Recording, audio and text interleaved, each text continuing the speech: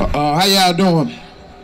My name is uh, Carlos Ball, and I am the brother of Cary Terrell Ball Jr. Now I know a lot of y'all might not know who he is, but see, they never, St. Louis City Police never wanted the nation to know about this story. They shot my brother 21 times, man, while with his hands up.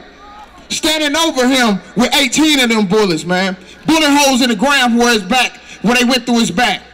And since the day he died, I've been determined to get his story out here, man. I ain't been playing. This didn't broke my mom and my daddy down, and we still fighting and protesting. So I'm gonna put it on my shoulders. If my parents are hurt right now, with that being my brother, as long as there's breath in my body, I'm gonna keep on fighting, man. I'm gonna fight with these families, with all these families, because we're gonna get justice for them.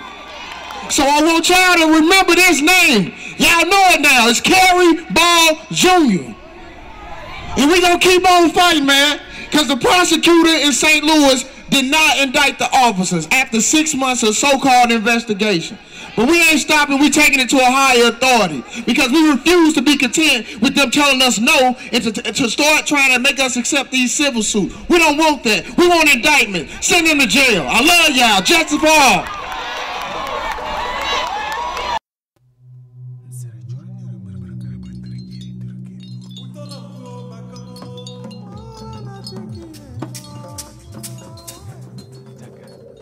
comes a fellow.